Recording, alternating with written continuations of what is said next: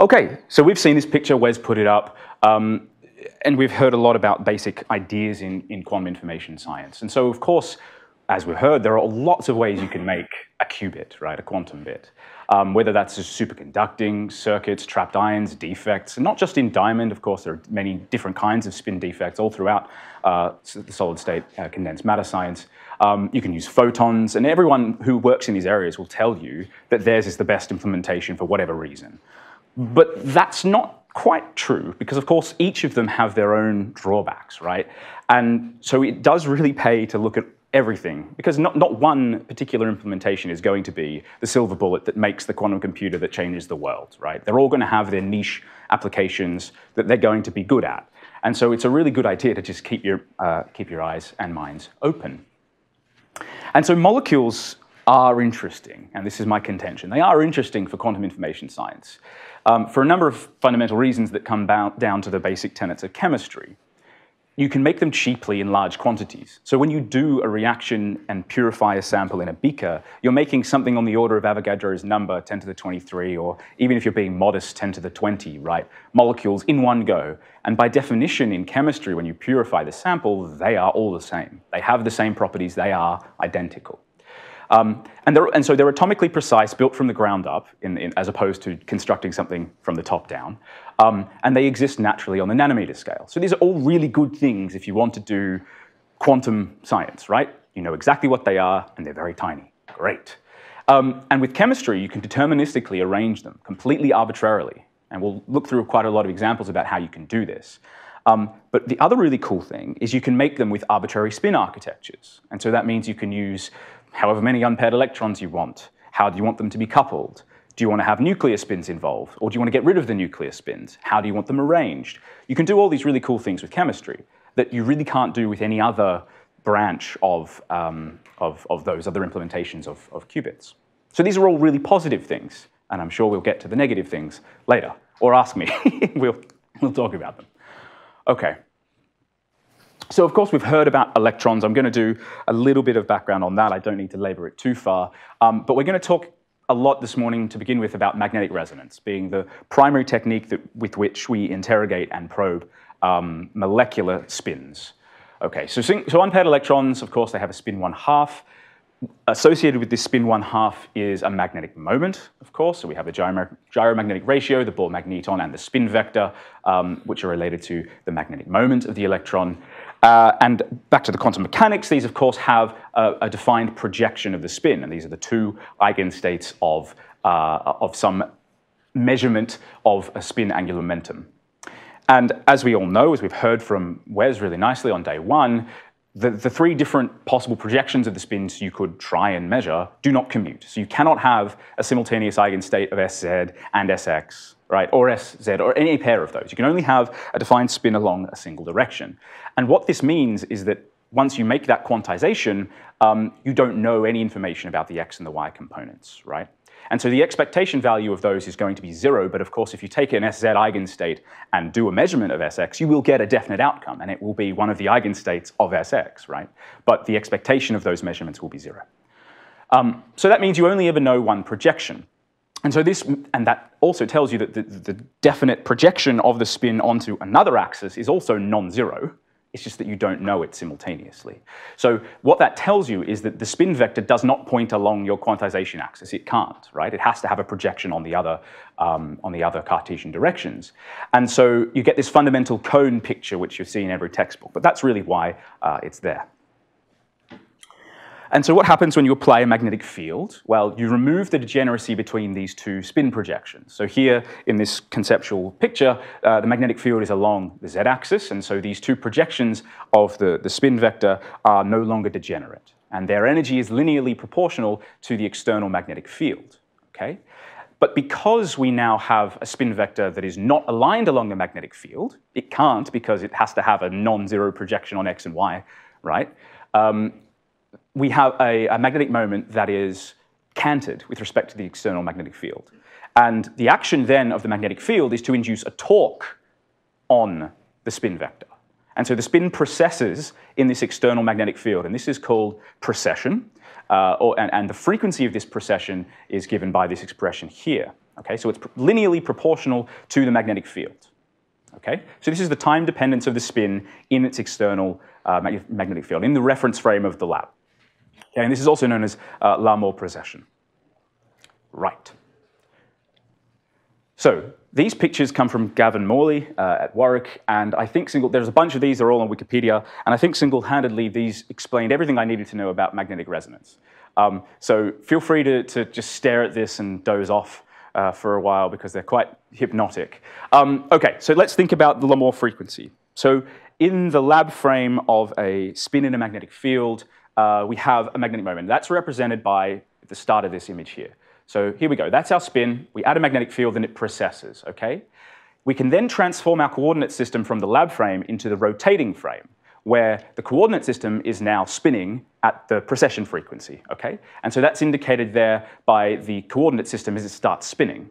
And you'll see then in that frame, the spin is static? Uh, and that's really the, the, starting point for thinking about magnetic resonance, okay? We're in the rotating frame at the Larmor frequency.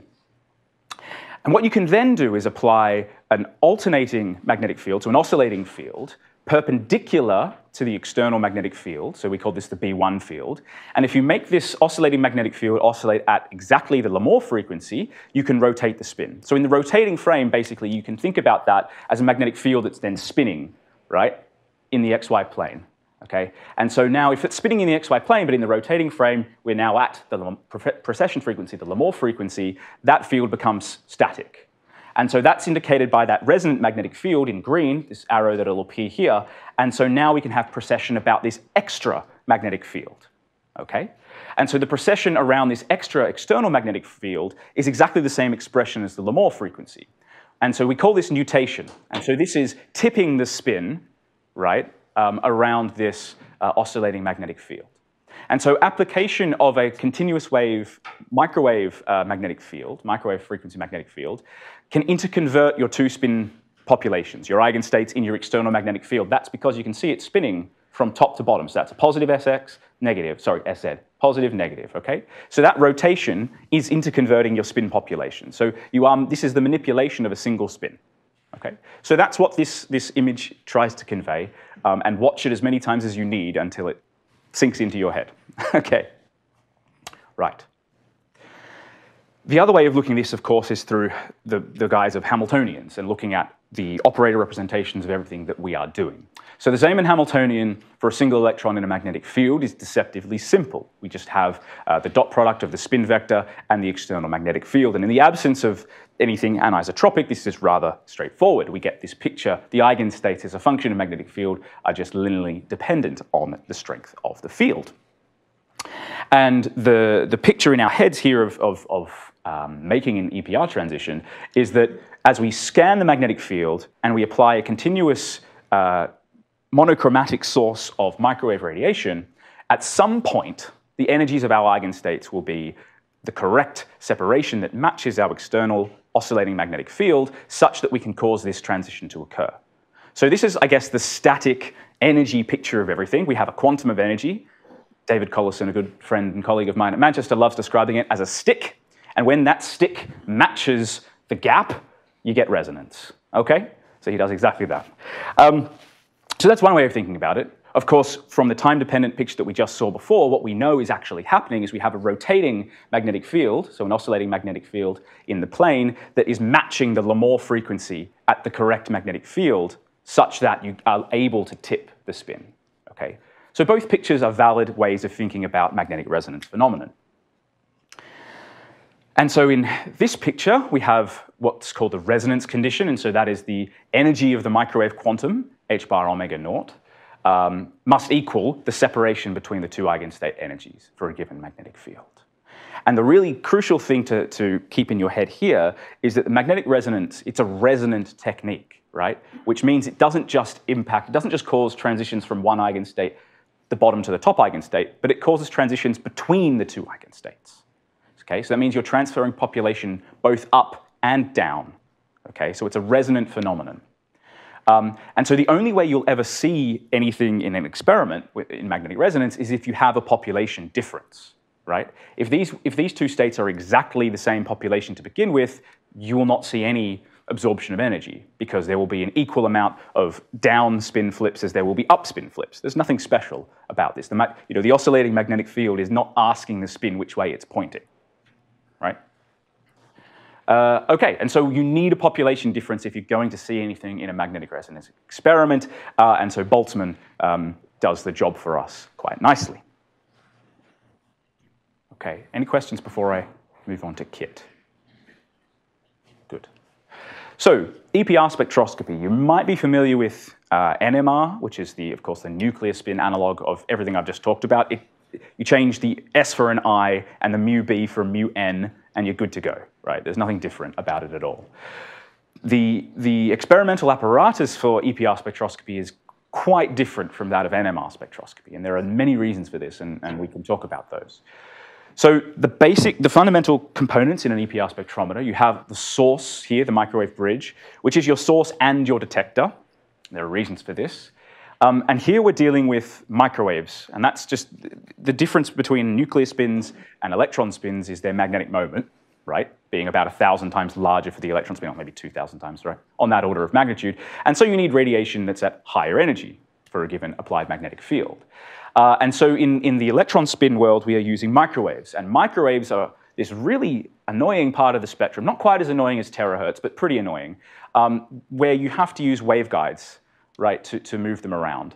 Um, so that's both a blessing and a curse, but we have these brass waveguides, they're basically just tubes um, that, that pipe the microwave energy from our uh, bridge all the way into the sample, which sits in the middle of an electromagnet. Now, depending on what frequency you are, sometimes uh, it's a, a um, superconducting magnet at higher frequencies, but, but most EPR experiments are done uh, using electromagnets that are less than about two Tesla because these are pretty cheap and easy to make, and it's you know, not such a big deal uh, to run them. They don't require cooling and all these things.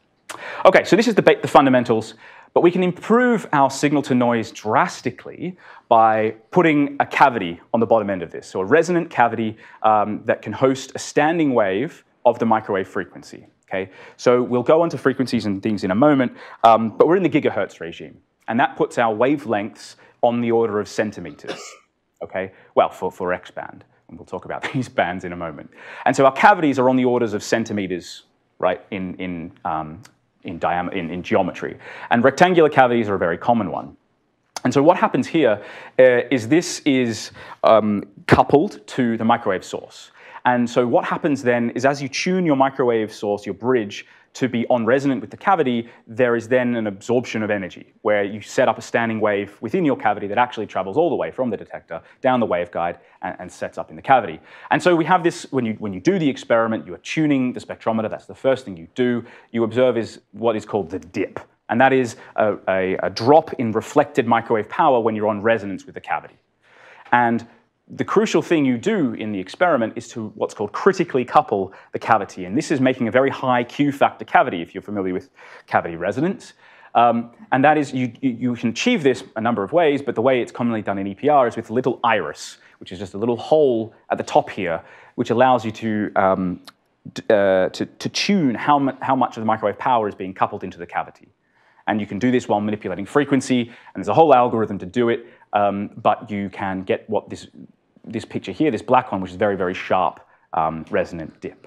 Okay, and so you can have a very precise frequency that has a very, very narrow bandwidth, which is really good if you want to interrogate the fine structure and the spectra um, details of your uh, molecular systems. Okay. Nick, can I ask a question about this? Yes. What does bridge mean? I've never heard that word. This is just, so this is a klystron, right? This is a, a, a Klystron? yeah. Yeah, so this is the, the, the, common term they use in the microwave bridge, which, which has the generator and the amplifiers and all the detection circuits as well.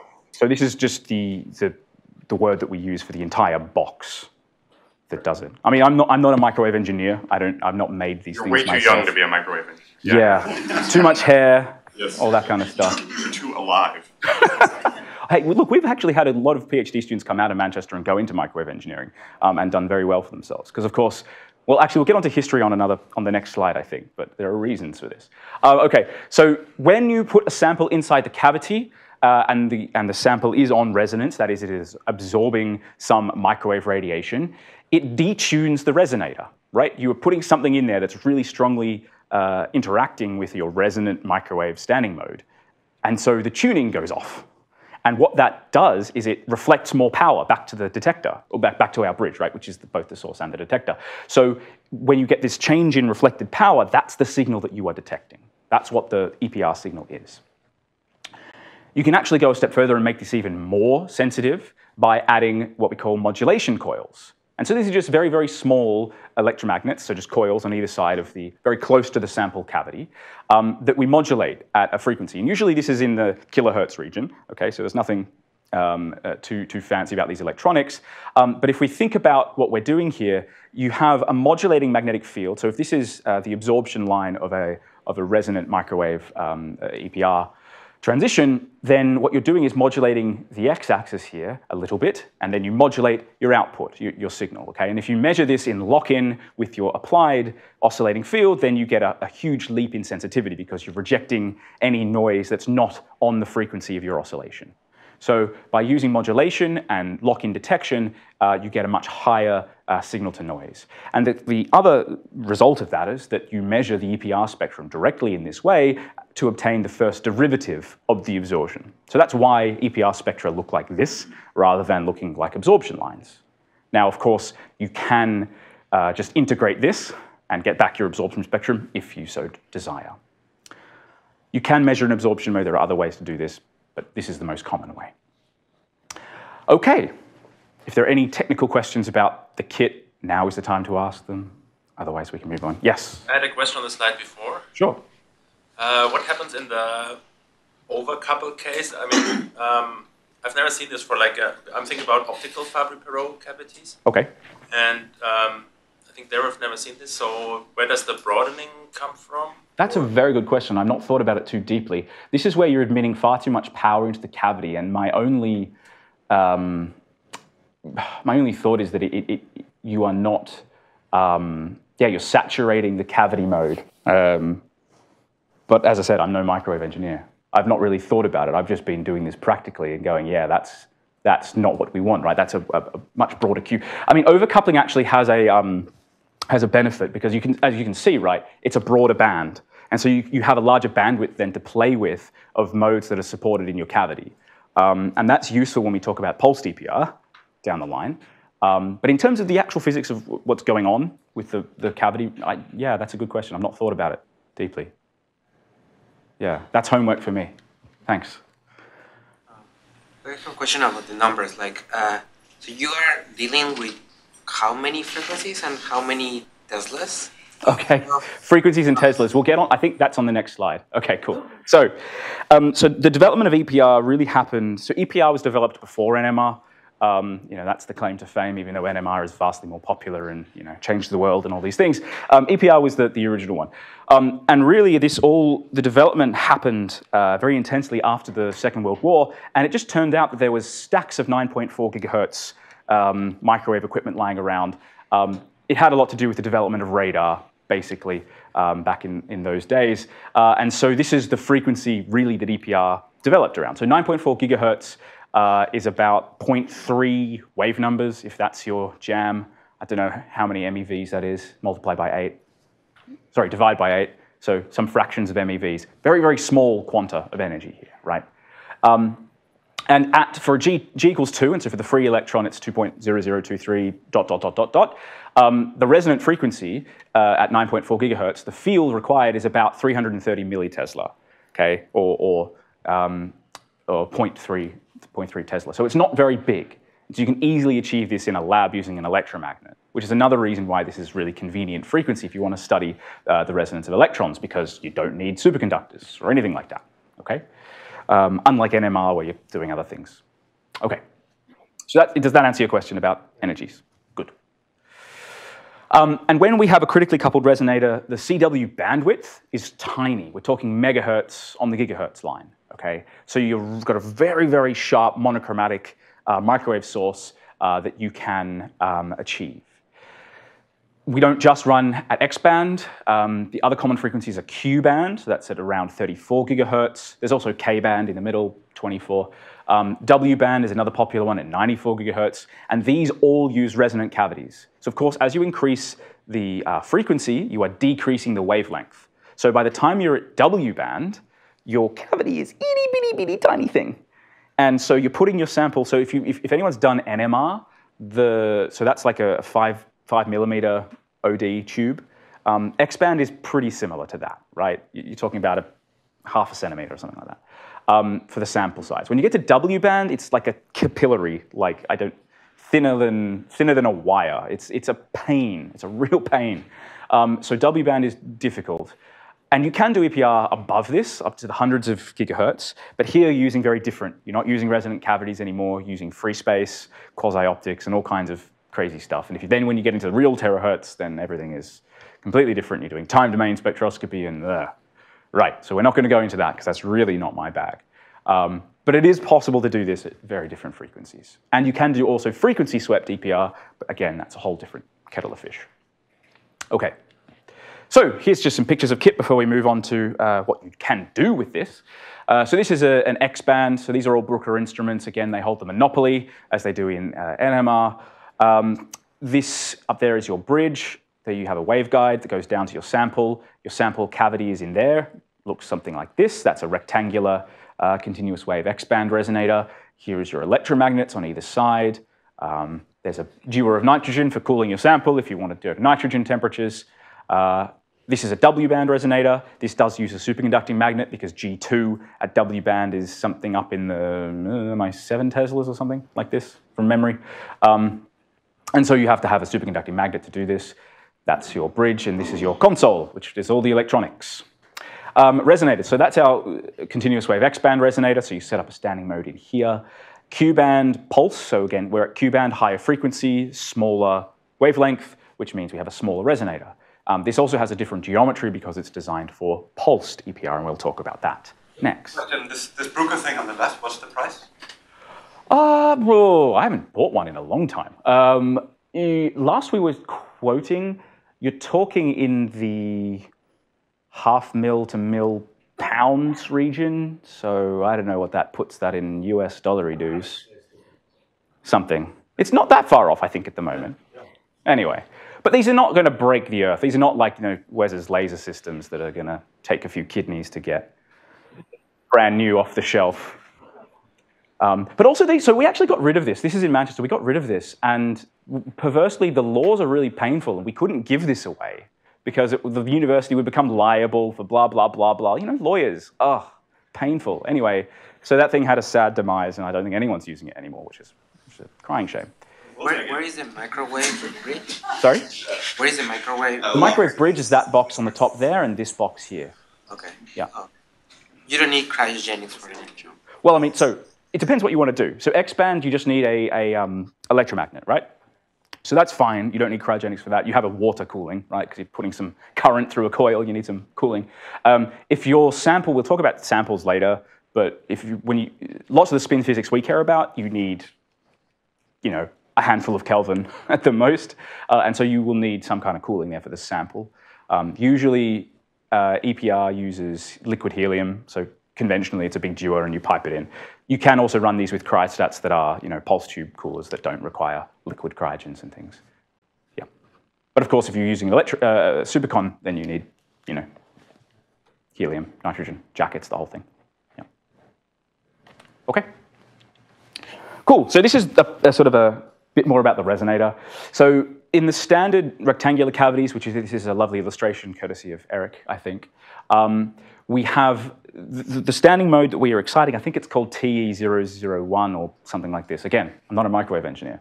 Um, but this is called perpendicular mode. And this particular mode enhances the magnetic field lines at the sample and minimizes the electric field. Because, of course, what do you do with microwaves in your life that isn't EPR spectroscopy? There are right and wrong answers for this. Does anyone use a microwave in their life to do something that is not EPR spectroscopy? yes, thank you. Someone owns a microwave oven. Yeah, you heat your food, right? And the reason you heat your food is because microwaves, as we heard, was it, I think it was Nick's talk, right? Nick Hutzler. He was talking about all the different energy scales. Gigahertz, yeah, that's molecular rotations. Okay, so that's how you heat your food. You jiggle the water, it spins around, heats things up. Okay, so microwave heating is a real thing, and that works by using the electric dipole of the molecules that actually do have permanent dipole moments, and I will die on that hill. Um, in the condensed phase, they are real, they are there, yes. Um, uh, and you spin them around, right? And so that's what happens with the electric field. And we don't really want to do that for our samples. We don't want to cook them. We're there to do spectroscopy. So we want magnetic dipole transitions. And so this mode enhances the magnetic field and minimizes the electric field at the sample. Okay? And so our Hamiltonian becomes uh, a static external magnetic field, Bz. I've just said B naught along Z here. Uh, and then we have a perpendicular microwave magnetic field, and, and I've just written the X component. There is a Y component, let's not worry. And this oscillates at some frequency that we fix. And so if we treat our oscillating field with time-dependent perturbation theory, so this is first order um, uh, time-dependent perturbation, we have Fermi's golden rule, which gives us a transition probability or intensity that is proportional to the absolute square of the matrix element of the oscillating magnetic field between our two eigenstates. Okay, if that bit's unclear, um, go do some homework. That is a really, really nice bit of derivation, um, how you go from this to this. That's really fun. Okay, but what this leads to, of course, is if we have this oscillating SX term in our Hamiltonian, you can rewrite that as a, as a raising and lowering pair, which we've heard nicely from Wes already. Uh, and that gives us our dipole magnetic selection rule, which is delta ms equals plus or minus 1. So that's where this comes from. So this is the EPR selection rule that we care about uh, in our spectroscopy. Right. Okay, so G equals roughly 2. Um, when G does not equal 2, that's where the fun stuff happens in EPR. Uh, and when G does not equal 2, that tells you you have something to do with an orbital component. Because free spins, right, if they're perfectly free spins not inter interacting with anything, will be G equals 2.0023, fine structure constant, blah, blah, blah. But we have spin orbit coupling in reality, and so any orbital degree of freedom can couple to the spin and deviate from G equals 2. But to have any serious orbital angular momentum, you need orbital degeneracy, and we're going to talk about this in a bit of detail. But organic compounds, so, so uh, single unpaired electrons in organic molecules that don't have degenerate um, orbitals, will give you G values that are very, very close to the free electron. Okay? Um, but for metal complexes where you do have a whole bunch of metal, uh, degenerate orbitals or possibly near degenerate orbitals, you can have significant deviations. So we'll talk a lot about D1 and D9 complexes because these are practically, for all intents and purposes, single unpaired electrons. But these still give you deviations significantly, measurably from 2. Uh, and these are second order effects, we'll talk about that. When you get to something like the F block, where you get crazy degenerate F orbitals and you can have crazy anisotropy, we can also talk about that. And that comes from a first order effect versus a second order effect. Okay. A question. Do you measure like actually G in your lab or do you use like the tables that are there? Well, you measure the magnetic field at which you have a, a transition. And you know very precisely your microwave frequency. So we have a frequency counter. Uh, and so from, if you know the material you're investigating, say to spin one half, you can use the resonant um, condition, right, to determine what G is. So you don't, you don't get a readout that says, hey, G is, but it depends on a model, right? Because when you're dealing with lanthanides, you have a whole different interpretation of what the spectrum means. Basically you're measuring the resonant frequency. Correct. Yeah, you're measuring the absorption of microwave power at a fixed frequency as you sweep a magnetic field. And using a model, you can try and understand what that means in terms of spin physics. So spin orbit coupling doesn't just change G, it makes it anisotropic. And so in general, Gx does not equal Gy, does not equal Gz. Um, and these could be in, and these are in the molecular frame that we're talking about here. Uh, and so in fluid solution, if you have uh, tumbling, right, over the time scale of your measurement, and the time scale of an EPR measurement is quite long. These are not, so we haven't got into pulse yet. Oh my, I'm gonna run out of time. Anyway, that's fine. Um, uh, right, in a fluid solution, you have tumbling, and so you average out all your anisotropies, right? So this is the common case for NMR spectroscopy. If you've done that, you get single lines. You measure a chemical shift. That's the isotropic chemical shift. If you do solid state NMR, I pity you. That's really terrible experiment. But when you when you have fluids, it's all nice. Okay, EPR. And EPR is far easier to do in solids than NMR is, right? And it's really really a benefit for us. So when you freeze your sample, uh, if it's a solution, or you take a solid and you dunk it in a tube, you do not average out your anisotropy anymore. You measure the simultaneous uh, response of the entire sample, right? So you are essentially integrating over magnetic field directions if you think about a single molecule. Or you have a static field and you're spinning your molecule around, right? and you're seeing all of the responses. And so you see a component from a signal from every component in your um, in your sample. And so let's consider here uh, an axially symmetric complex. So this is a copper compound, square planar copper compound with four ligands. If you're not a chemist, these wedged bonds mean they're coming out of the plane. The dotty ones mean they're going back into the plane. And we have an axis of symmetry, which I'm calling Z along there.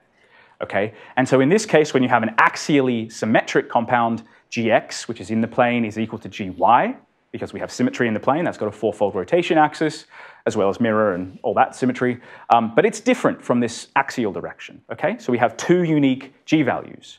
And in this particular example, Gz is larger than Gx and Gy. And so as a function of magnetic field for a fixed frequency, we will get a, a kick up in absorption at the earliest possible magnetic field that makes resonance. Okay, so think about going along the z direction with magnetic field.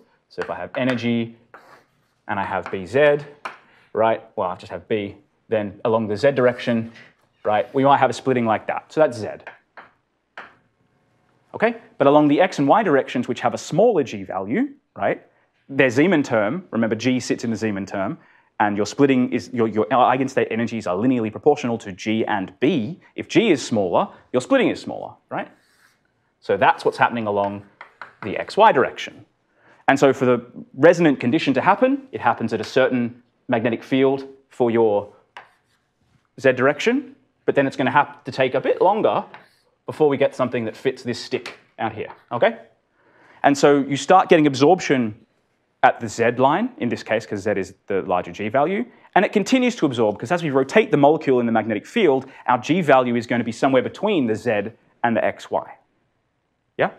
And so you keep getting absorption until you then get this peak, which is at your gx equals gy, and that's the smallest g value you have, right? And there's nothing in your sample that has a smaller g value than that, and so you stop getting resonance. And so then the absorption drops. Now that's the absorption spectrum. We directly measure the first derivative, and so that looks like a bump, nothing, and then this big dip like that. Okay? So that's the characteristic spectrum of an axially symmetric uh, spin one half uh, signal. Okay.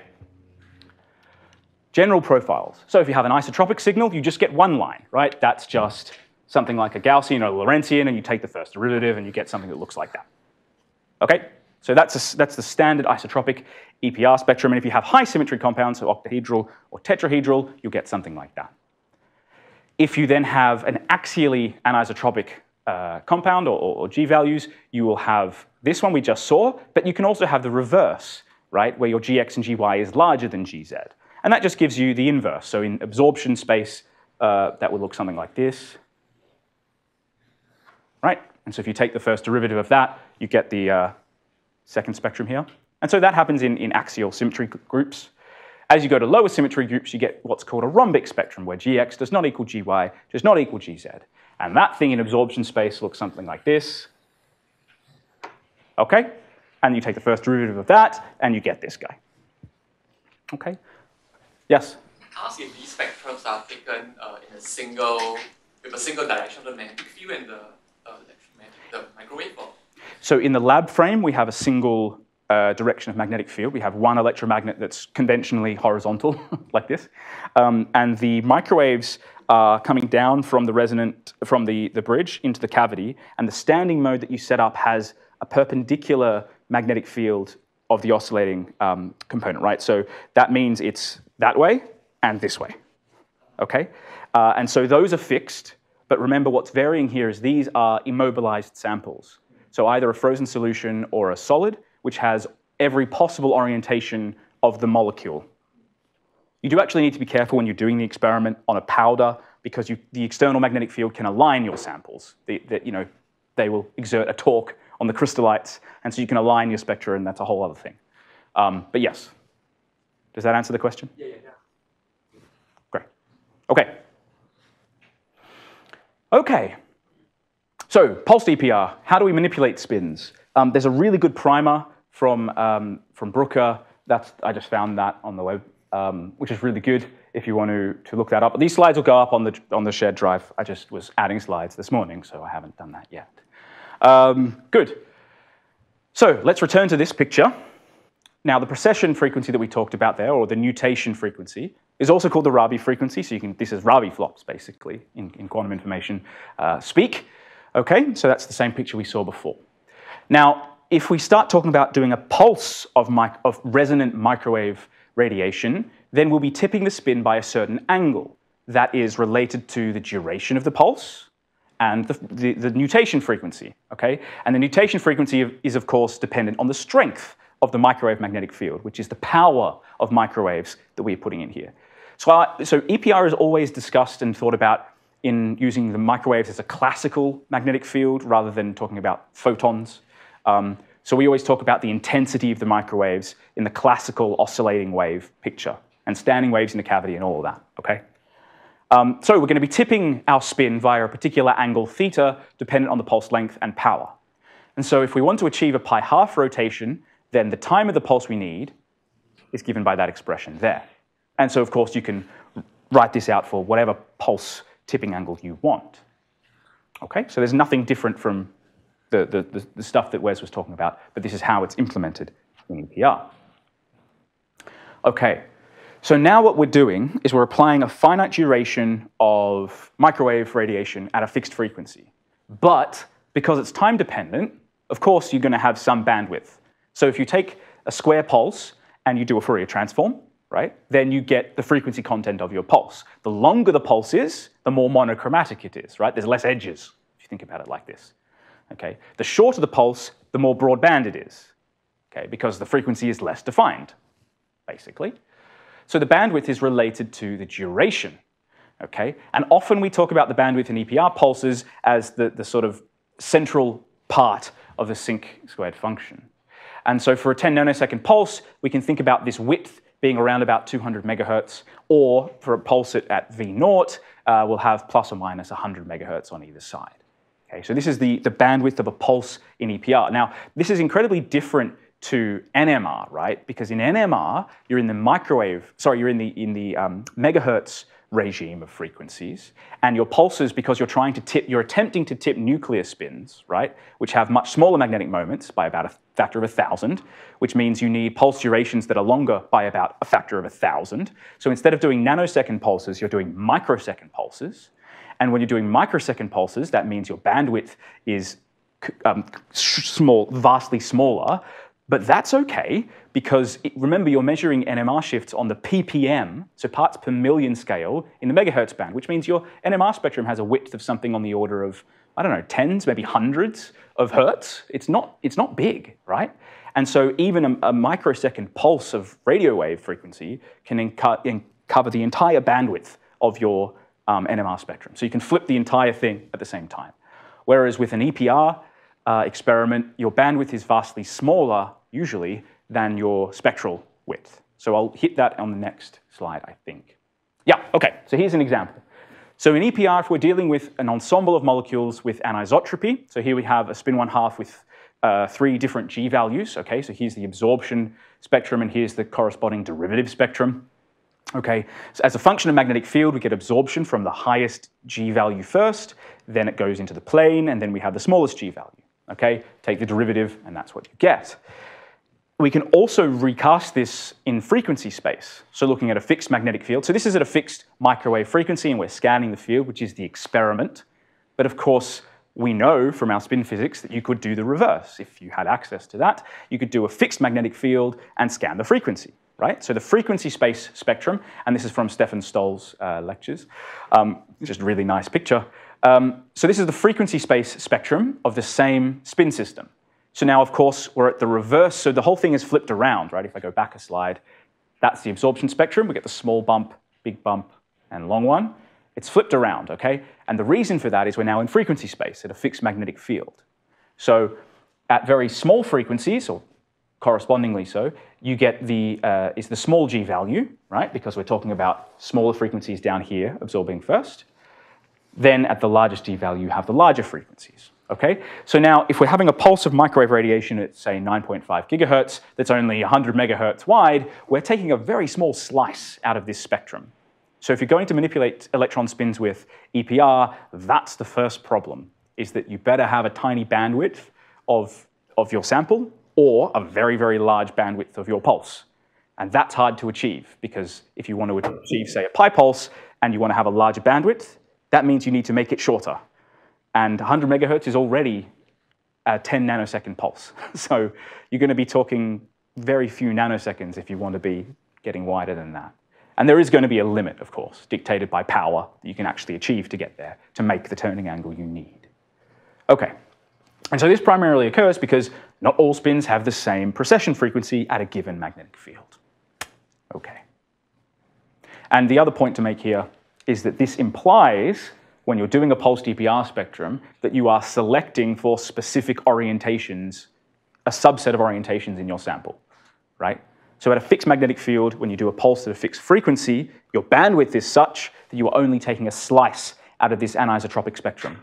So a lot of your sample is not on resonance with the experiment that you're doing. You're only looking at the molecules that have a specific orientation in the external magnetic field that are on resonance with the microwave pulse that you're applying.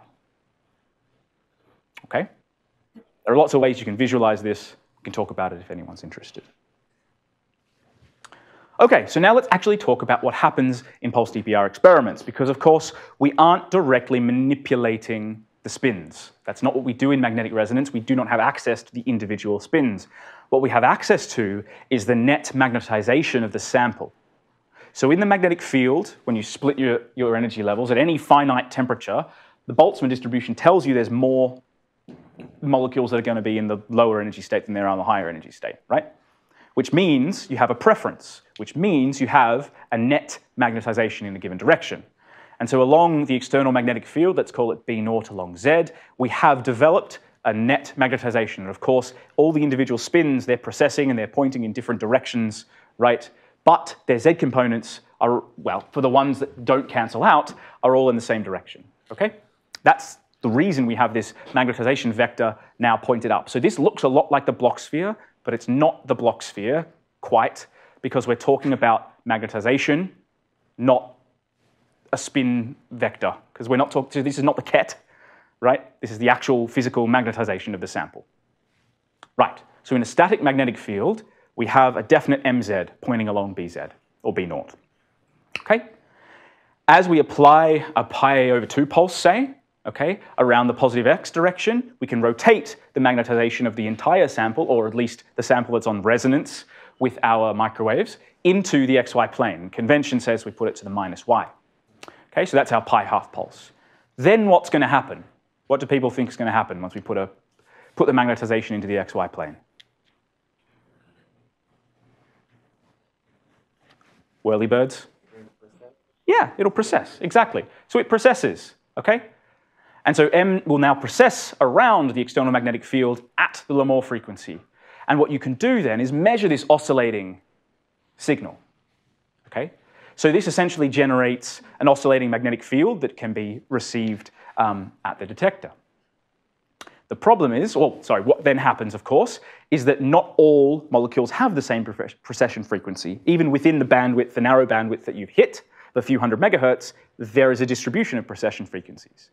And so in the rotating frame, so this is all in the rotating frame, the spins will fan out. The one that stays in the center is the one that's exactly on resonance with your microwave pulse, but the ones that are a little bit slower or a little bit faster in the rotating frame fan out. Okay? So that's what this graphic indicates. And this is called the free induction decay. And so you get this pulse of, after, you hit, uh, uh after you've turned your spins into the plane, you get this pulse of, of um, precessing microwave uh, radiation, which then decays due to this dephasing. Right. Now, if you want to excite all of the spins or more of the spins, you need a large bandwidth, which means you need a shorter pulse, which means you need more power. Okay, so those are the things we talked about before. The consequence of this is that when you're doing these things with a lot of power, detect, you need to put a lot of amplifying power of the microwaves in to make these things happen. And the detect detection circuits are very sensitive, and you can't measure the, uh, the free induction decay during this period. So this is called the dead time, and a number of things are happening at this point in time. The amplifier doesn't have an infinitely sharp cutoff for amplifying a microwave um, signal. The detectors don't have an immediate um, discrimination time where they can turn on and, and measure this microwatts of, of, of, microwave power compared to kilowatts that you're applying to do the pulse. Uh, you also have a resonant cavity, which, you know, just like a tuning fork, if you smack it really hard, it's going to ring for a while. So the cavity has a ring down time.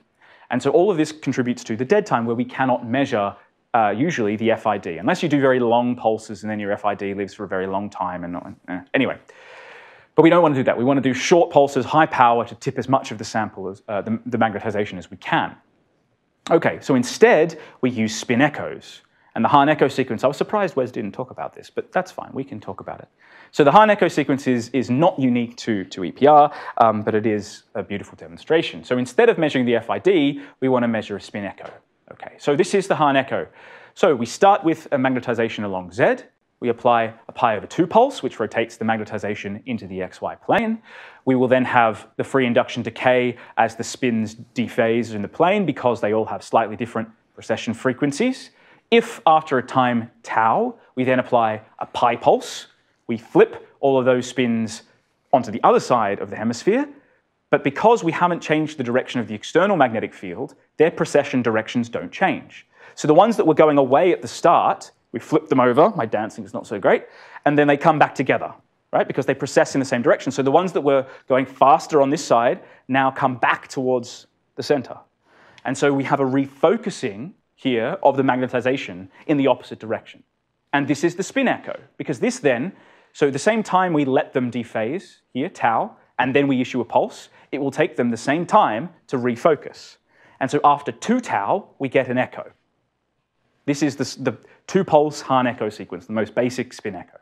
There are so many different echoes you can do, refocusing stimulated. It's a lot of fun. And again, I don't design pulse sequences. This is not my bag. Um, this is all about NMR. NMR does this all the time. Um, like all the fancy cozy, dozy, blah, blah, whatever, pick your acronyms. Um, it's all pulse sequences like this, okay? So that's really fun. So the pulse, this pulse sequence will refocus inhomogeneities in your sample, that is things that have slightly different frequencies and all that, but it does not refocus decoherences. So any spin, because remember we're talking about magnetization here, but of course the magnetization comes from the spins. So any spin that you've tipped and decides, and it wanders off and does something else, and it loses phase coherence. It's no longer processing um, uh, in a unitary manner, uh, according to these, or it's not um, evolving in a unitary manner under these pulse sequences and this time, does not get refocused. So it disappears, right? So the longer you wait when you do this, the less signal you get back, okay? And so this gives you a mechanism for measuring the, the phase memory time. So I like calling it TM, the phase memory time. Some people call it T2 star. Some people will call it T2, and some people will have arguments about that. I'm not here for that. If you want to have an argument about the merits of different, uh, uh, I'm going to go through lots of examples as well. You will see TM, you will see T2. Don't get in, in a knot, okay? it's just, it's a Hahn echo sequence. It's the echo, um, the time scale of the echo decay. Right, so here is another lovely animation from uh, Gavin Morley, which is the Hahn echo sequence. So let's, so you've seen it once, and let's just go through it again. So we're going to tip our magnetization into the xy plane. First pulse, dephases. We flip it by a pi pulse, comes back together, refocuses, gives you an echo. And as you make that time longer, the echo decreases. There you go. This is all you need to know about pulsed EPR. So this is, this is on Wikipedia, so you can go and just look that up. Um, and so we can measure this intensity of the, uh, the Hahn echo sequence as a function of time 2 tau, uh, and then we get, uh, we can fit that with an exponential decay, uh, and, and obtain our phase memory time. Of course, people use often stretched exponentials, and the stretching factor tells you something about the decay mechanisms and rah, rah, rah, rah. Again, I'm not here for that. Cool. So a question, a question that why is the uh, maybe all, all of the the directions of the spins do not uh, change after you create such echo? They just decay in one uh, one direction, but do not disperse again, like like in the green lines. Uh, so is your question why do they go? Why are they traveling in the reverse direction? Uh, question? Um, they're trying to reverse, and then they just go to the directions, and then then, then decays. But the, the, the, so this graphic is this graphic is just a you know a cartoon representation. Of course, what happens as a function of time is the spins come, they make an echo, and then they keep going past. They, they still keep going past. Yes. Yeah, yeah, yeah. This is just, you know, this is saying, okay, and stop it, freeze frame, and now pretend we've run this experiment at different times. That's, that's what this cartoon is showing you. In reality, you flip the spins with the pi pulse, they come past, make an echo, and they keep going. Uh, so, so that in the timeline, the uh, different spins uh, only go to one direction, maybe instantly, and then they, in uh, in reality, they should still disperse. Yeah. They- they will keep the- going. after the echo change. Correct. After the- After the echo, that's where the echo drops, right? That's why the echo envelope is something like this. Goes up and down because once they form the echo, they keep going past Okay, and they keep processing and dispersing, and then you, yeah. Okay, thank you. Okay, great. Yes. Two questions. Well, first of all, I come from superconducting qubit design, so they use a lot of T2 Echo and T2 Ramsey. Do you have numbers for this one? Com- just to compare. Timescales? Yeah. Just be patient. We're going to get there. And second of all, like what happens, like also another problem in superconducting qubits is that these pulses are not perfect. Like you can actually Oh, yeah. perhaps Oh, yeah. in here how you actually collate that. We can talk about that. Um, this is all, I've only talked about rectangular pulses. You can do fun shaped pulses, Gaussian pulses. You can do all kinds of things. These days, then this is only in the last, say, mm, maybe 10 years for the, for the oldest people and maybe a few years for the people who've catch, caught up. Um, all of these spectrometers are equipped with AWGs, so you can do whatever you want. Um, but you're right, that the, the quality of your amplification of those pulses and upscaling frequency and all these things will give you sort of janky signals and they're not perfect. And there's a lot more problems than that, though. That's not the biggest problem we have here, okay? we'll, we'll get there. Right. Okay, so another very basic experiment um, is trying to measure the T1 timescale, the spin lattice. So this is called an inversion recovery experiment. And so again, we'll start with our M pointing along Z, the magnetic field. This time we're going to apply a pi pulse. And so that flips the magnetization downwards, okay? So this is a population inversion. If we think about having more spins here in our Z state to start with, right, then we do up here, and we do a pi pulse, we are just inverting those populations so that we end up having more population in our top eigenstate than we do in our bottom one. And so we've just flipped the orientation of the net magnetization. So that's a pi pulse. Um, it's obviously then static in the external field if the pulse is done correctly. Like, yeah, yes, there are problems with that. Um, if we then wait some time tau, that will decay because, of course, this is now an out of equilibrium population. And so on the timescale of T1, interaction with the bath, the spins will start equilibrating and going back to their preferred populations. Okay, and so so the net magnetization along this negative z direction will decrease. And in order to measure how much that's decreased, we can perform a Hahn echo sequence. So we take our negative magnetization, we flip it with a pi half pulse. Now we flip around, and we're in the positive z, uh, sorry, positive y direction. We can then do our, let it dephase and perform our uh, pi pulse. We flip it, we get an echo on the positive y, and so we now we have a, um, another echo here. And if you do this as a function of this time scale here, which is how long you're waiting with it uh, after the first pi pulse, as a function of time, you can measure this inversion recovery. So we're inverting the spin, and we're seeing how long it's taking for the spins to recover. Okay? So that's this experiment here, and it gives you uh, the time scale T1. Okay. Right. Of course, you don't have to do pulses like this. You can do them however you want. And so the simplest demonstration of coherent control uh, of an electron spin, but of course here we're dealing with an ensemble of electron spins, so we're coherently manipulating the net magnetization, not individual electron spins. This is Wes's point on slide two or something of his talk. Um, right, and that's a nutation experiment. So this is where we start in our uh, Z net magnetization, and we apply some pulse here that rotates our uh, magnetization by some angle theta. Uh, and then we do a Hahn echo sequence to see how much we've rotated, okay? And so if you do this experiment, of course, then you will uh, do your Hahn echo by, by rotating this magnetization vector down there somewhere by pi 1 half, wait some time for it de- to dephase, flip it again, come back and get an echo. And if you do this for different pulse lengths of, of or powers here for this first pulse, of course you'll see an oscillating precession, or not precession, sorry, nutation of the spin. And so this is exactly like we've seen in previous talks, um, this lovely oscillating uh, res- response here. Okay, but of course, that's not reality. How big is the ensemble? Well, that's not an easy question to answer because it depends on what it is, right? If you're doing X-band, you've got a sample that's maybe, I don't know, so big, you know, macroscopic, but you're only addressing a fraction of the spins with your resonant microwave frequency, depending on the band, the frequency bandwidth of the sample, and the bandwidth of your pulse, and the bandwidth of your resonator, and the power of it. So it's not an easy question. But it is a macroscopic, you know, number of spins. Okay, but this is not, of course, reality. Something like this is reality. This is a real experiment, and we'll get to this one later. But of course, if you drive in nutations, you can do it. It's coherent, it's beautiful, but it decays, right? And we're going to talk about why that is, what that is, how to make it better, all these things. Oh, goodness, right.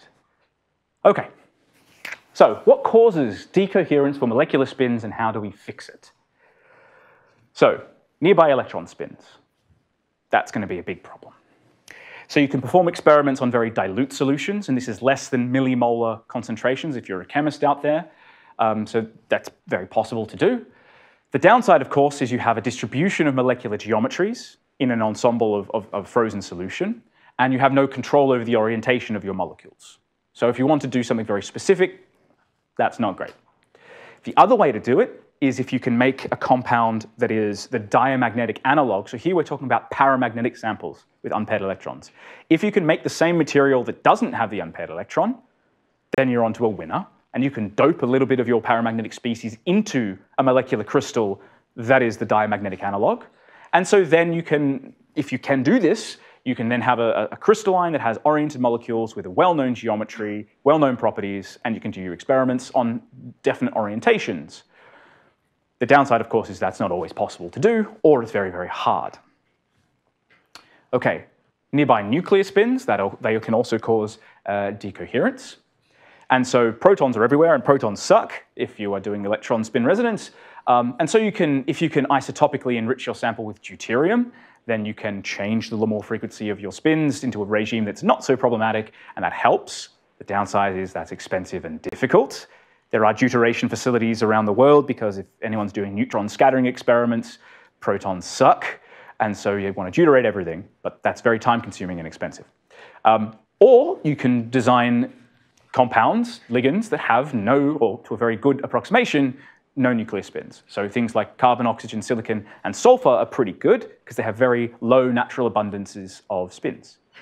Yes, of course, you could isotopically enrich everything and know what you're doing, like the beautiful experiments we have you know, in labs here.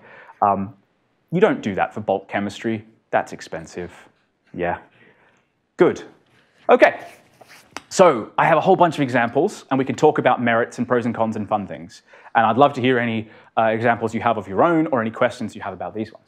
So it, it, on paper, any spin one half molecule can be a qubit. It doesn't have to be fancy, right?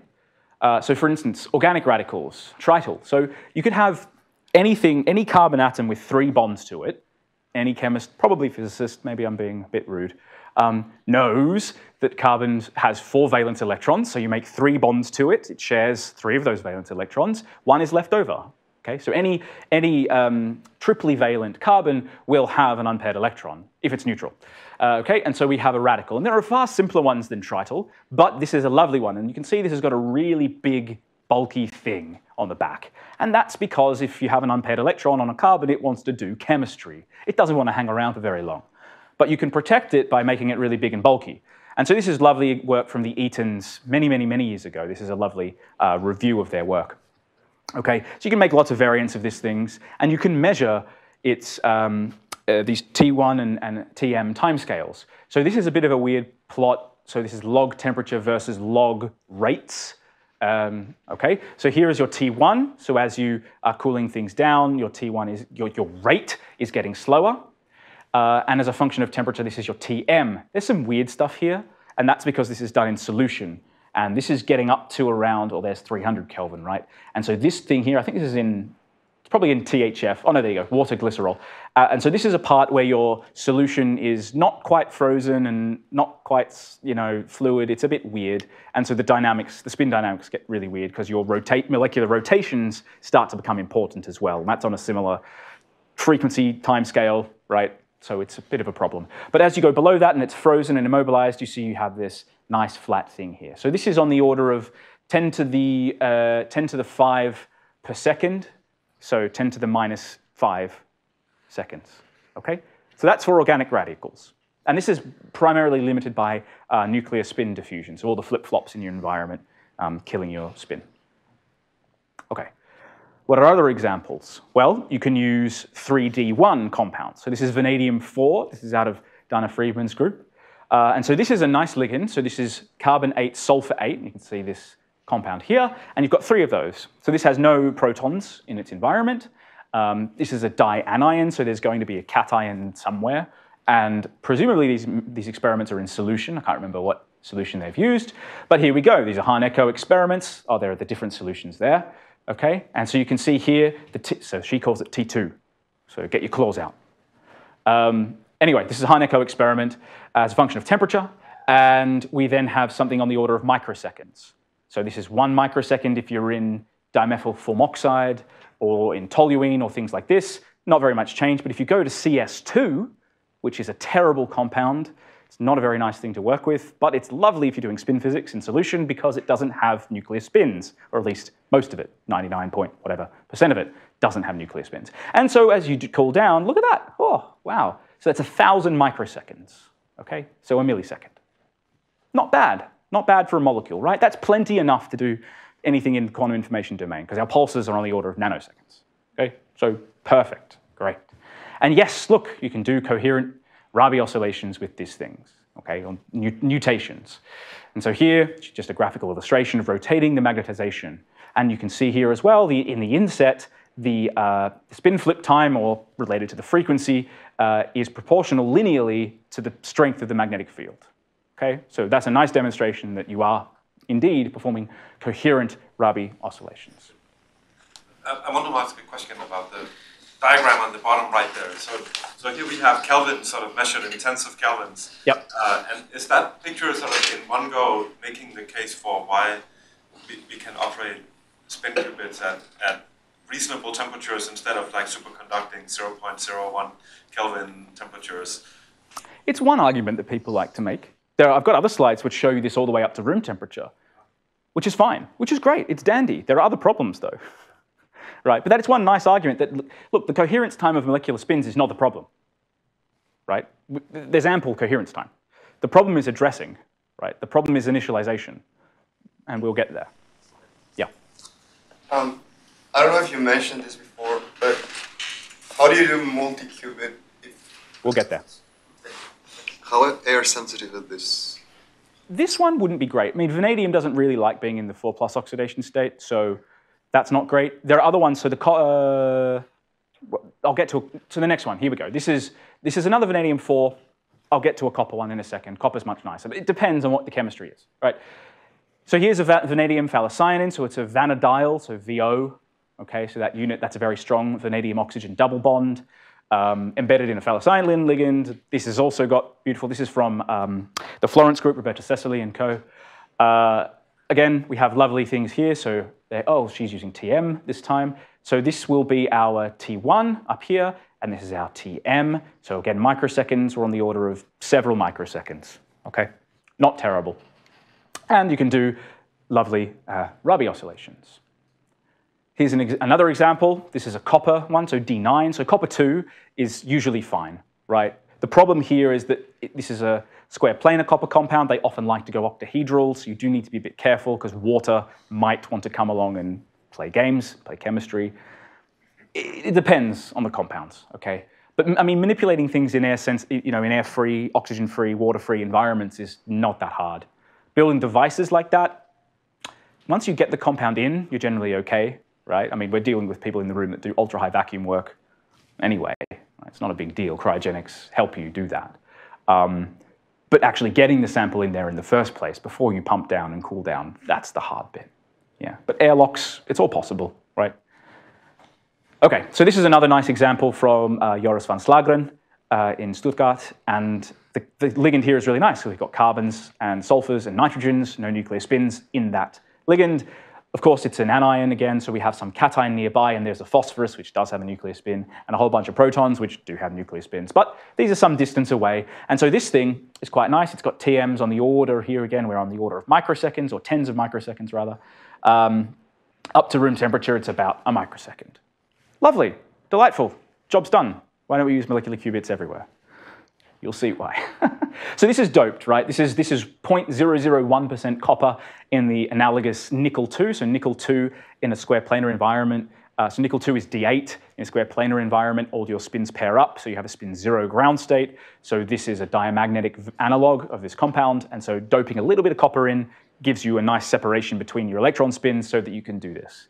If you made the pure sample, you wouldn't see very much. Right, you don't just have to use single ions, you can do things that are more interesting with chemistry. And this is chemistry out of Richard Winpenny's group at Manchester.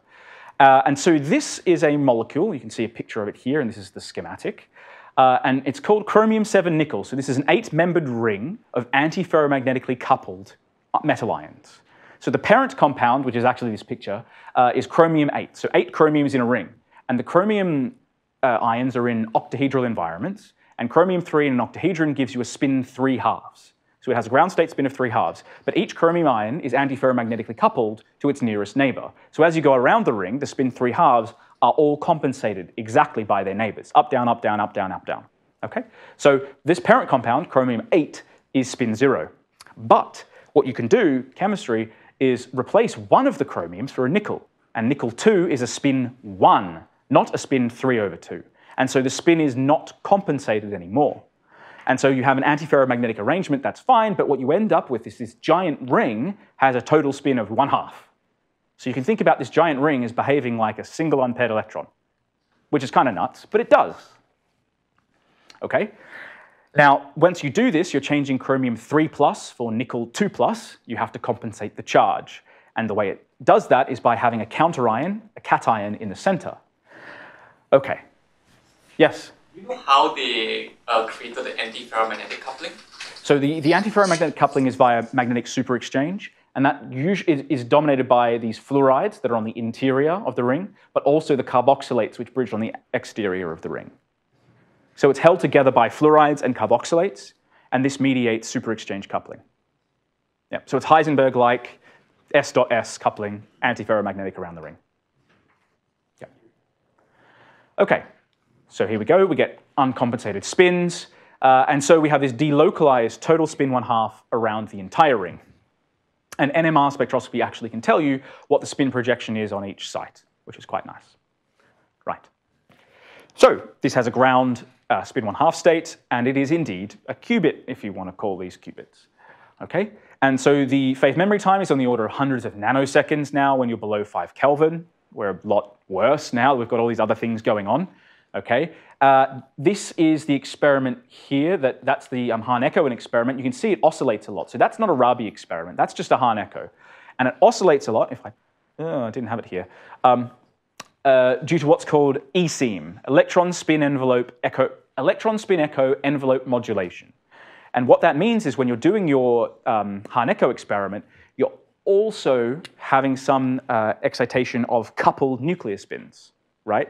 And so if you're on the right frequency to also pick up, you're flipping an electron spin and a proton spin, right, simultaneously, then depending on how long you're doing your pulse, you can manipulate those as well. And so this is modulated by the proton Larmor frequency. And so if you include that in your model, you get a very nice fit. So that's what that is. It's a nice way of measuring hyperfine as well, if anyone's interested in those things. Uh, okay, so what does this have in terms of T1 and T2 in this case? Ah, well, as a function of temperature, we get down to, there we go, something on the order of hundreds of nanoseconds.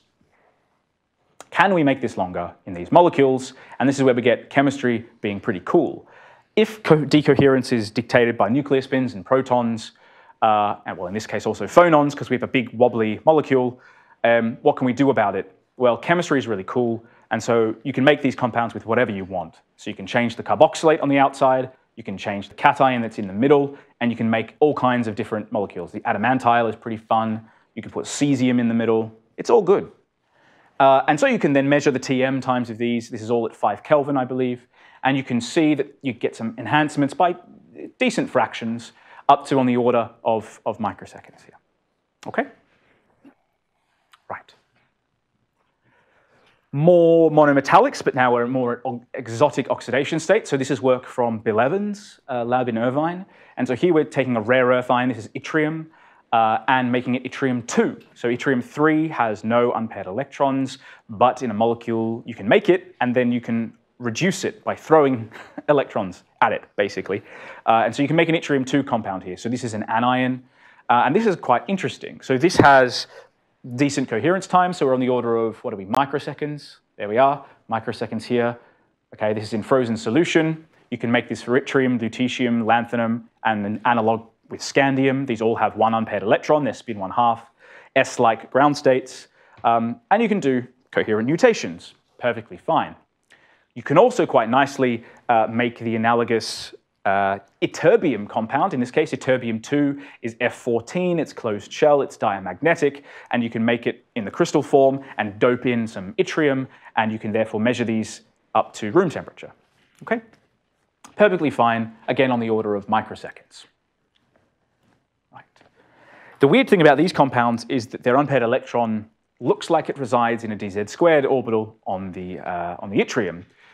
This is actually a little bit misleading because it's only 50 or 60 odd percent metal based. So this unpaired electron has a lot of character of living on the ligands.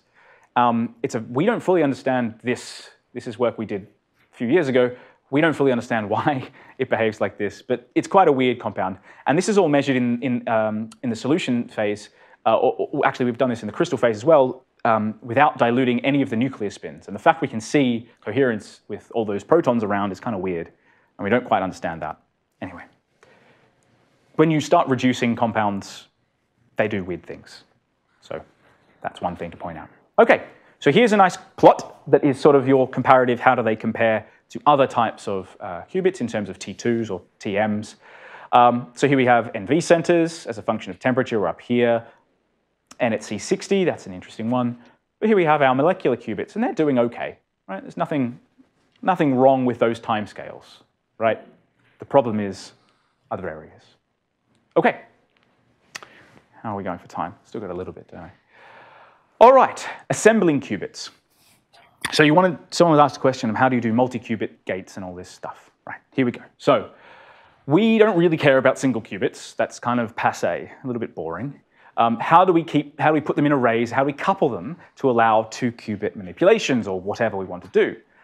Well, you could just make a molecule that has two spins, right? So this is an example out of Takeji Takui's lab, uh, which has two tempo radicals. I haven't talked about tempo, but this is another nice uh, stable uh, radical, okay? And these are actually labeled with uh, N15, so you got rid of the nitrogen spin one nucleus. And so you have two radicals, one spin half at the end of each molecule. And here, you need the ability to address them separately, right?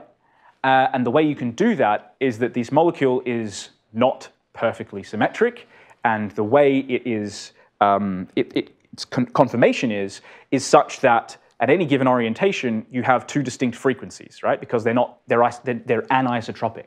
And so at any finite magnetic field and orientation of molecule, you have two specific frequencies that you can hit, okay? So in principle, you can, you can address these two things separately.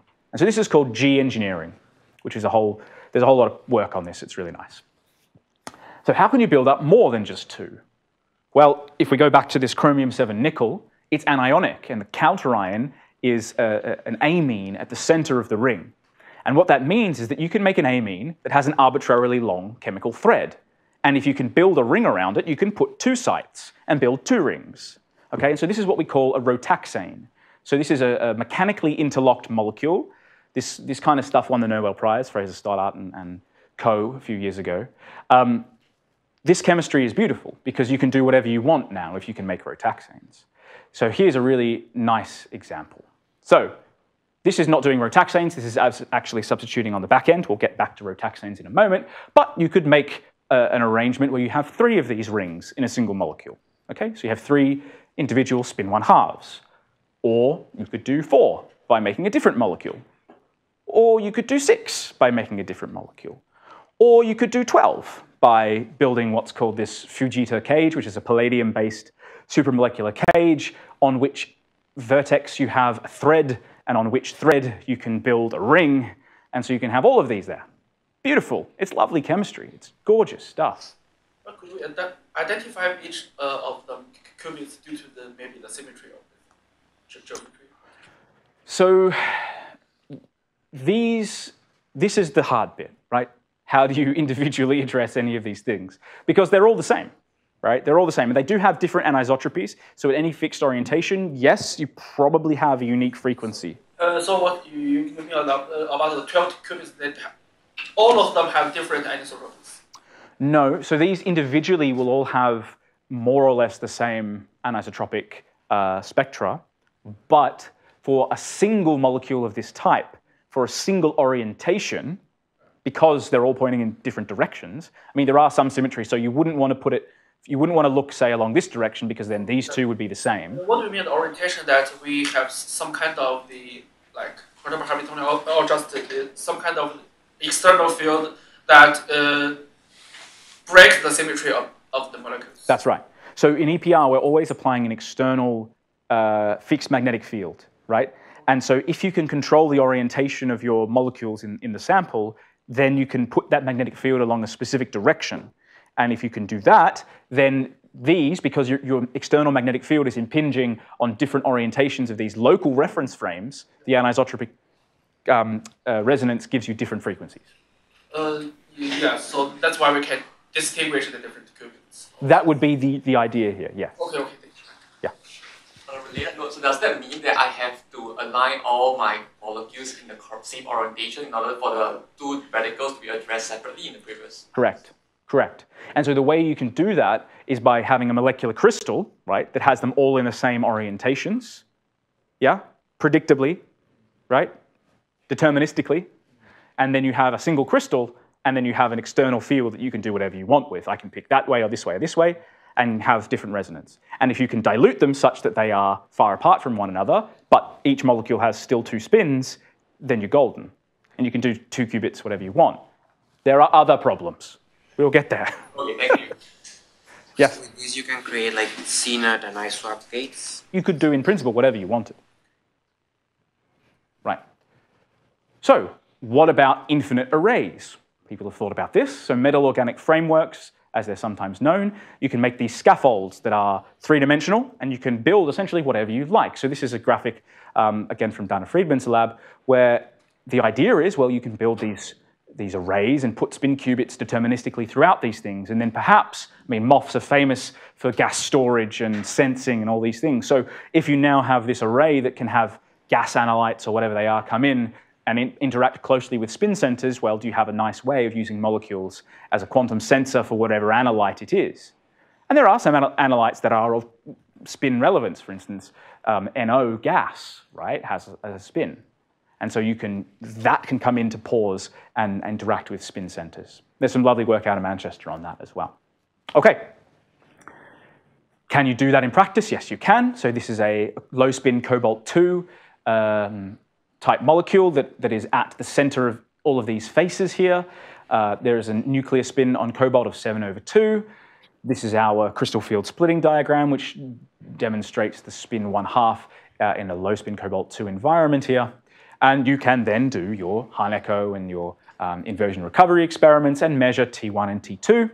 So we have here at whatever that is, 5 Kelvin, 15 odd microseconds. Fine.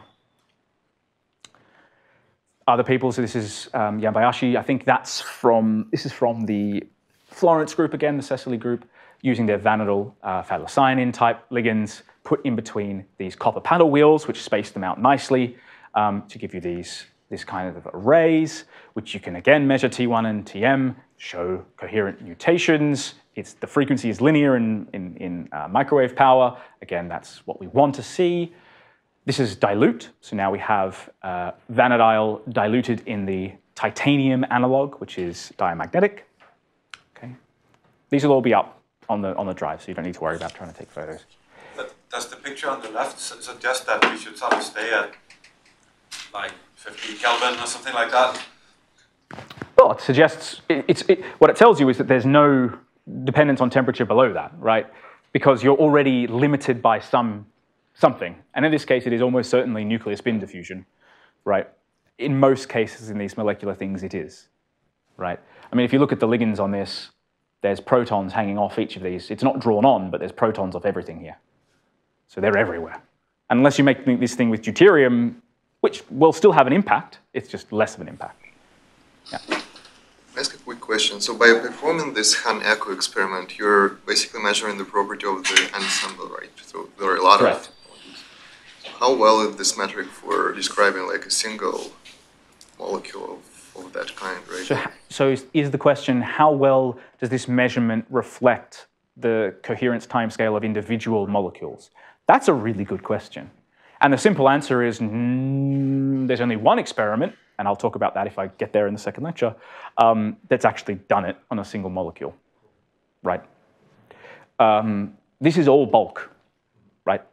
So this is, this is indicating that yes, the spins can be coherently manipulated we haven't, most people are not doing it on the single spin level. So that's, but that's a really good question. Yeah. Hi, um, I have a question. Like, um, so right now we see we can um, create a 12 qubits, but like for future, like for future path, if you want to um, scale up the qubits like to thousands or like um, I don't know, like million. Like, I I'm just curious, like, what's your opinion or thought? Like, how can we direct? Uh, how can we like go further? Well, so that's exactly what these, these kind of systems are good for. So these are infinite lattices, right? So if I have a macroscopic crystal on the scale of millimeters, I haven't done the maths, but that's going to be billions or 10 to the 20 odd qubits in a defined array with all defined distances between them, right? So these are infinite crystal molecular crystal lattices that pack in these structures, these frameworks, right? Now, if you can make a single crystal that is perfect with no problems, you know, no defects and things like that, then you have one array that is billions of these things, which is fantastic, except they're all the same. So how do you address them differently? That's the big problem. Yeah. Um, so with MOFs, um, would the metal that forms the framework interact with the qubit and then create problems like decoherence? It could. It could, absolutely right. So in this case just before here, the framework here is built with these copper paddle wheels, right? And that could be a problem because coppers have unpaired electrons sometimes, depending on their oxidation state. In this case, they do. But copper paddle wheels are also known to have a very strong antiferromagnetic coupling within the paddle wheel. So these have an S0 ground state. So at, at low temperatures where you'll be doing any spin physics, they're S0. Yeah? But also coppers have a nuclear spin. Yeah. So you, you- there's no free lunch, Yeah. right? but yeah, I mean, the, these arrays are the, are the- the way of trying to build beyond single molecule structures into infinite networks. Right? Just as a follow-up question, why can't we use non-uniform magnetic fields to be able to address them differently? Absolutely. You could, if you could manipulate a magnetic field to be non uniform over the scale of nanometers. What's the state of the art? Sorry? What's the state of the art? What's, pardon me? State of art. What's the state of the art in terms of m- manipulating a non-uniform magnetic field? Oh, that's beyond me, but it's not nanometers. I mean, yeah, not not not controllably. That's for sure. I mean, by accident, probably. But that's that's not really the best way to do it. Uh, so that's a good point. Yes, if, if you could if you could de- define some kind of array that would have a non-uniform magnetic field. I mean, look, the separations are angstroms, 17 angstroms, right? So that's 1.7 nanometers. So if you could have an oscillate or some kind of periodic or semi-periodic or aperiodic array of magnetic field that was deterministic over a macroscopic sample at that fidelity, then absolutely, yep, that would be awesome. Sounds like an engineering challenge for someone to, to try and do. Um, just as sort of a different uh, question, uh, since we could build uh, infinite lat- lati of these, uh, can we consider each group of uh, molecular cent- like metal centers as a single qubit? Each, So we're doing uh, bulk within the like uh, in some calculation within every lattice position in a sense. I, if I understood the question, could you consider one ensemble as a qubit and then have another ensemble as a qubit? Is that what you're asking? Yes, so assign the qubit to be kind of like what they do with the error correction. Uh huh. Uh, so assign a redundant amount of molecular qubits to be your logical qubit. in a sense. yes, and I, there are two ways you could think about that problem, and I will hopefully get to them in the second part. Okay. So I think I will leave it there before we go on to lanthanides, um, because that's all a whole different kettle of fish. Uh, yeah, so any final questions before? Yep. Also, a question on this. So, uh, I mean, addressability is one thing, but also, do you have interactions between the spins? Because if Yes. you cannot get, you have, you have interactions between the different sides. Oh, yes.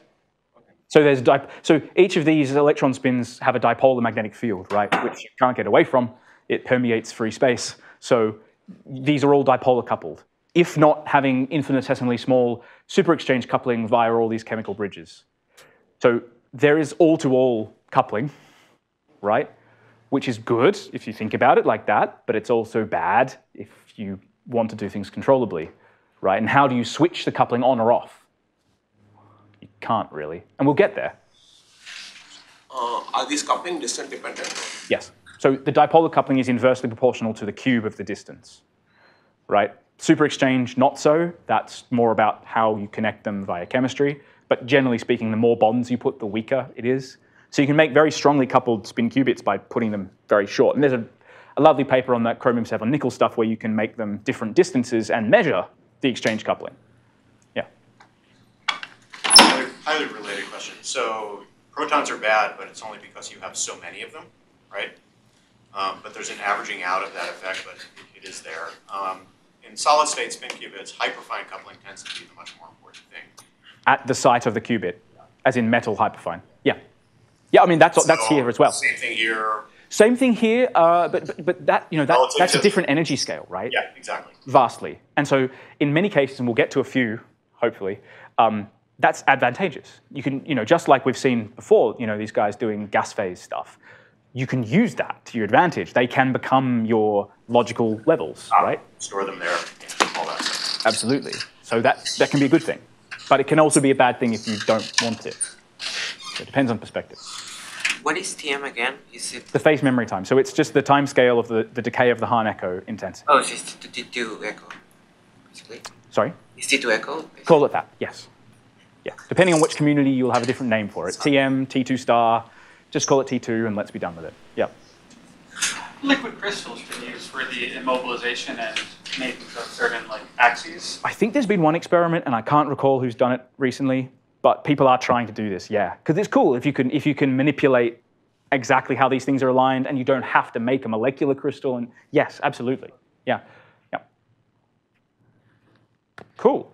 Well let's catch up after the break, I guess.